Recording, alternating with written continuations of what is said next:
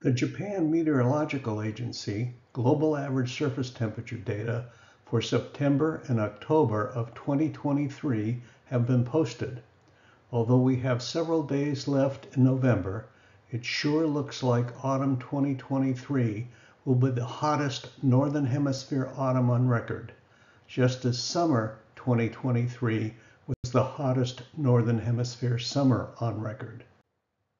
Here are the results that the Japan Meteorological Agency obtained for September 2023.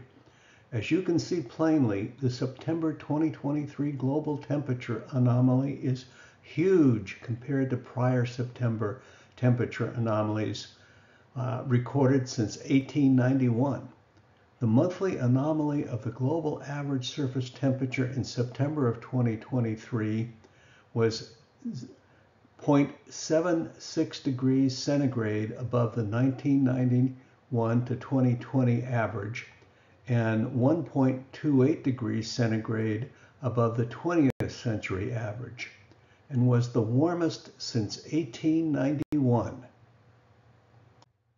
The monthly anomaly of the global average surface temperature in October of 2023 that is the average of the near surface air temperature over land and the sea surface, was 0.74 degrees above the 1991-2020 average and 1.26 degrees centigrade above the 20th century average, and again was the warmest since 1891.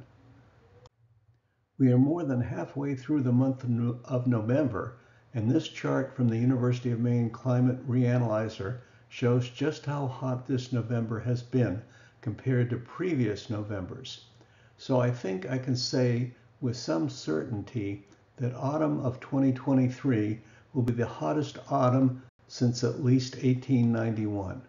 Folks, there is no two ways around this. We are in deep doo-doo.